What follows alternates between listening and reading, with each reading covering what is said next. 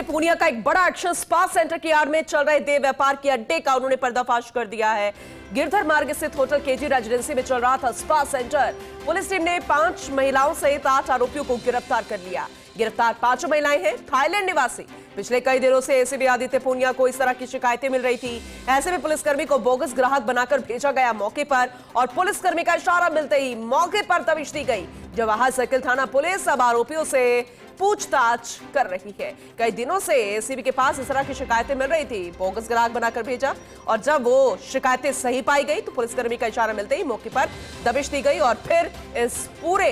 देह व्यापार का पर्दाफाश कर दिया गया। Senior special reporter Satyan Sharma हमारे साथ जुड़ चुके हैं। ज़्यादा जानकारी उनसे लेंगे। सत्यन, जरा विस्तार से बताइए, क्योंकि शिकायतें मिल रही थी, बोगस ग्राहक भी बनाकर भेजा और वो शिकायतें शायद सही पाई गई है, तभी इस तरीके से दबिश भी दी गई और फिर देह व्यापार का पर्दाफाश हो लेकिन किस तरह से पूरा घटनाक्रम हुआ, जरा बताइएगा।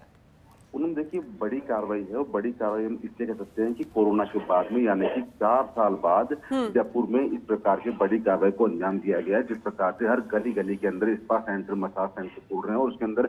जो गलत कार्रवाइयाँ होती है गलत उसके अंदर का, काम होते हैं सभी को ध्यान है लेकिन अब पुलिस ने बड़ा एक्शन लिया है खुद एसीपी एसीपी बावनगर आदित्य पुण्य खुद आगे बढ़े हैं आगे बढ़ते उन्होंने संज्ञान से अपने टीम के मेंबर को आगे भेजा और पता पड़ा कि जयपुर शहर की इस होटल के अंदर थाईलैंड की युवतियाँ हैं जो कि जिसमें फरोशिया काम करती है उसके बाद में इस होटल पर दबिश देकर इस कार्रवाई को अंजाम दिया गया हम्म। पूनम बताना चाहूँगा आपको कि जयपुर शहर के अंदर केवल यही होटल नहीं है बल्कि करीबन 500 से अधिक होटलें ऐसी है जिनके अंदर इस प्रकार की आवेदन जो गलत काम होते हैं वो करवाए जाते हैं और लड़कियाँ वो मांगे पैसे वसूल करती है और साथ साथ जो युवा है वो इसके अंदर शोक में फंसता ही जा रहा है तो ऐसे में जयपुर पुलिस की मुहिम शुरू हो रही है आज शाम से और माना जा रहा है कि आने वाले समय के अंदर जयपुर शहर के अंदर इस प्रकार के